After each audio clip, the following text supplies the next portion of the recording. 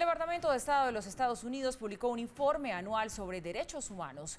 Cuba, Venezuela y ahora Nicaragua fueron calificados como los peores violadores de derechos humanos en la región. El secretario de Estado interino, John Sullivan, presentó el documento donde señala los países del mundo que han cometido los abusos de derechos humanos más atroces. En Venezuela el régimen de Maduro reprime los derechos humanos de su gente y les niega el derecho de una voz en su gobierno. Miles huyen de sus hogares diariamente en respuesta a esta crisis humanitaria. Reiteró el apoyo de Estados Unidos a Venezuela. Estamos con el pueblo de Venezuela, así sus líderes se rehúsen a permitir ayuda en su país. En el informe denuncian a los gobiernos de China, Rusia, Irán y Corea del Norte. Sostiene que violan los derechos humanos de quienes están en sus fronteras diariamente.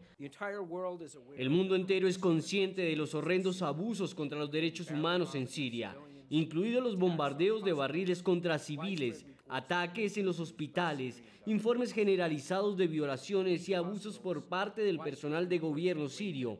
Hace una semana el presidente tomó medidas junto con nuestros aliados franceses y británicos para impedir el uso de armas químicas y proteger los derechos humanos de los civiles sirios. Lo señalan también como generadores de inestabilidad.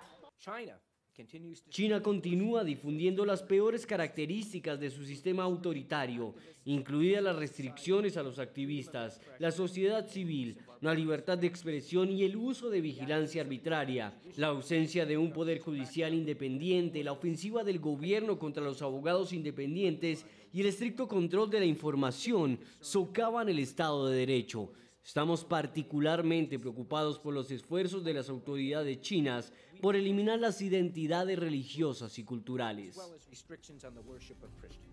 Estados Unidos también alertó sobre la que llamó extendida corrupción e impunidad en Centroamérica.